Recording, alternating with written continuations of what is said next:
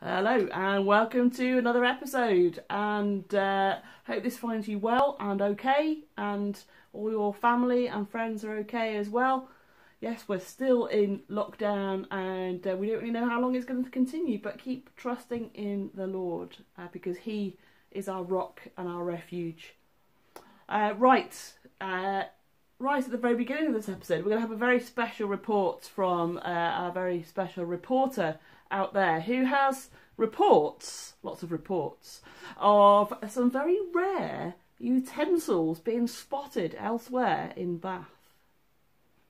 Hello, Bev. Today I'm also on the hunt for new species of the kitchen utensil. Today we are going to be looking at the John Lewis species. Very, very rare indeed. Let's have a look around the garden. There's a plant here. Do you reckon there's any in here? Let's have a little look. I don't see any. No, not in this plant. Any on the decking? No, I don't think so. What about in this red plant? No. I haven't found any yet. What about in the daffodils? I spot one. It's the potato masher from John Lewis. Extremely rare species. That's amazing. Let's go and look at any others. Any in the furniture? No. About in these plants? Hmm, I don't spot any. What about you guys? Do you see any? What about in the garden? I think that's quite a likely place for all the species to hide. I don't actually see any though. Look, this is the basketball hoop. Look up here. Stay very far away just in case come at, comes at us. It's the very, very rare species, the soup ladle.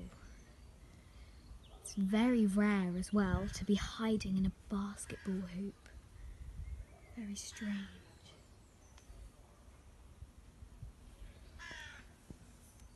Today, we have seen lots and lots of rare species in the hunt of the kitchen utensils. Bye. So there we go. Uh, some uh, very lesser spotted John Lewis kitchen utensils there. Excellent stuff. Thank you very much for that report, uh, young Rosie. And right, we've got a message from the Bible today from Philippians. And it's the next bit of Philippians, and we finally reach chapter 2. And um, and so I wonder, right at the very, very beginning, if you were in prison uh, unfairly, I wonder what you'd be saying to the people, your friends. I wonder what you'd be saying to them. Uh, you'd probably be saying something like this. You'd probably be saying, right now, guys, hunker down. Uh, it's time to just close in, look after yourself, look after number one, keep your head down, keep under the radar, uh, and make sure you're all okay. Look after yourselves, okay? Do you know, but Paul does not do that. He is in prison for the gospel, unfairly, uh, but what does he do? He sends a message to to the people, uh, and this message is if it was for them back then, if it was for people who who were in danger of being put in prison, who were under that pressure and that struggle, then it's for us now under these lockdown times. So what is this message? He says this.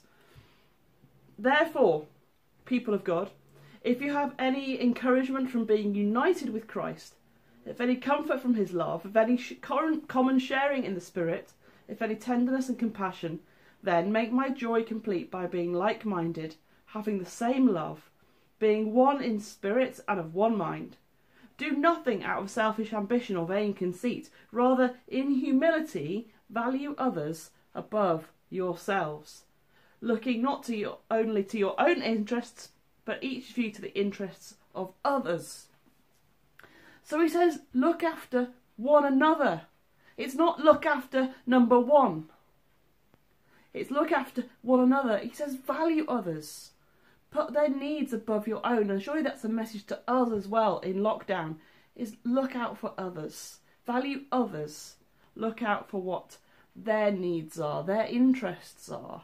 I don't mean just hobbies, but uh, but I, I think Paul's not saying, uh, I want you to go bird watching. Well, all the people who love bird watching. Uh, I think he's just like saying what what is what is good for them, what is going to help them, what is healthy for them. Um, and why? Why should we do this? Why does why does Paul want the Philippians to do this? Why why should we do this in lockdown? Why not look after number one? Well, this is why, and he keeps going. He says, in your relationships with one another, have the same mindset as Christ Jesus, who, being in very nature God, did not consider equality with God something to be used to his own advantage. Really interesting bit about equality there. Says, did not consider equality with God something to be used to his own advantage. Interesting. Uh, rather, he made himself nothing by taking the very nature of a servant and being made in human likeness. And being found in appearance as a man, he humbled himself by becoming obedient to death even death, on a cross.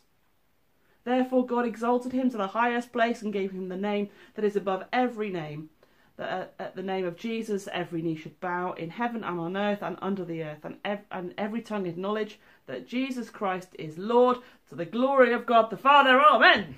I always want to say amen after that bit, uh, even though it's not written in the Bible.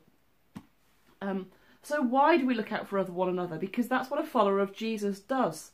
If we are a follower of Jesus, it means we have the same attitude to him. We walk in his footsteps. We don't do the same things as he does in terms of we don't raise people to life and heal people and things. But we, we have the same attitude, we have the same mindset as Christ Jesus. Jesus didn't say, Well, I'm in heaven, I'm in perfect luxurious bliss, uh, I am in forever happiness, and therefore I'm going to look after number one. He didn't do that. He he came down to the earth, and he he was he is the Son of the Most High, and he and he left and gave aside set aside his perfect eternal bliss for us because he knew what it would take to save us, to become a human, to identify himself with humanity, to become the, the God man here on earth and take the punishment for our sins in order that we might have relationship with God the Father. So Jesus did that for us. And so, looking after others in this difficult time, surely that's not as as big an ask as what Jesus did for us. So we can do that. We can do that. Now, let me just say, uh, finally, uh, after that, we do need to look after ourselves. Okay, we do need to look after ourselves, but the way we do that is by immersing ourselves in truths about Jesus. It says if that you have any encouragement from being united with Christ. And so the way we look after ourselves, the way we get this the strength to look after others in these difficult times is by immersing ourselves in Jesus. We are to be found in Him. That means lots of Bible reading, lots of prayer, um, lots of just being intimate with God in your own mind, whether it's writing down prayers, whether it's speaking prayers out loud, um, whether it's singing songs about him, or just or just reading the Bible, then we are to find our strength and our energy in him. So don't give out of your own resources. We're not being asked to give out of our own resources. We can only give out of the resources that we have uh, through the Lord Jesus. Uh, so, as we come to the end of that, uh, just uh, an announcement about these episodes the episodes are ending. Uh, we're going to keep going and try and get to the end of Philippians, okay? But then after the Philippians, we're going to end the episodes. Uh, however, we will be doing video specials. So me in the studio here with the cats studio. I love calling it studio. How hilarious! Uh, we will be back, uh, but we're going to continue with Philippians because it is so relevant to today and uh, and not just today, as in this moment, this these times. Philippians is relevant. Um, okay, so uh, there we go. That's all for now.